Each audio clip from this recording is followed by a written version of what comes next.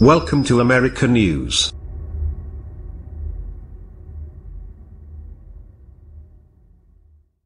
Baton Rouge, Louisiana. Louisiana regulators agreed to pay just more than $100,000 to resolve a federal lawsuit that accused state officials and inspectors of harassing and discriminating against a group of Vietnamese American nail salon owners, court papers show. Records filed in federal court DIDNT disclose any terms of the settlement agreement in June but the deal's monetary value, $100,000 plus an additional $400 for court costs, is disclosed in a document obtained by the Associated Press through a public records request.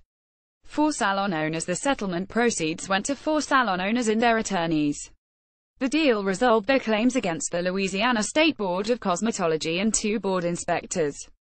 The plaintiffs claimed the board disproportionately targeted Asian American salon owners for frequent inspections, fines and disciplinary hearings because of their race.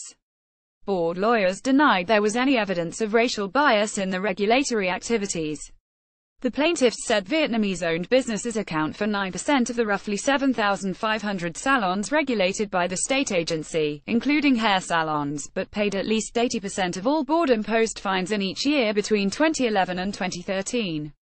Salons closed, employees detained one plaintiff, Thoatina Nguyen, claimed an inspector unlawfully detained her and her employees for about two hours during a 2013 inspection. U.S. District Judge Brian Jackson ruled in a pretrial order that those detentions were objectively unreasonable. Another plaintiff, Thi Nguyen, claimed her salon was shut down for three months by the board after they falsely suspected her of fraudulently transferring the business from its previous owner, simply because she and the previous owner had the same last name. One of the plaintiff's attorneys is former U.S. Rep.